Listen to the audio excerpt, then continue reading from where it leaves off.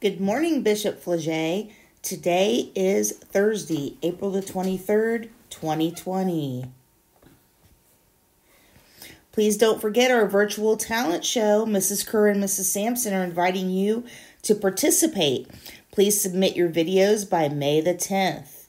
Submit them to Mrs. Corcoran's email address.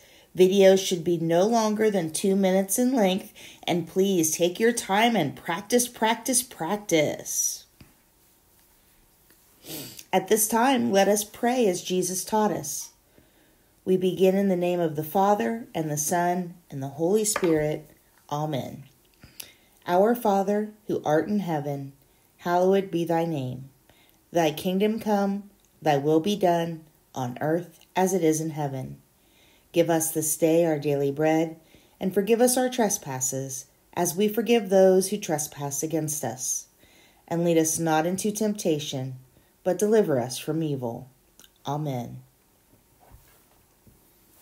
the Pledge of Allegiance. I pledge allegiance to the flag of the United States of America and to the Republic for which it stands, one nation, under God, indivisible, with liberty and justice for all. We don't have any birthdays today. And that's it for Mrs. Corcoran's announcements today. Everyone have a Thor's Hammer Thursday.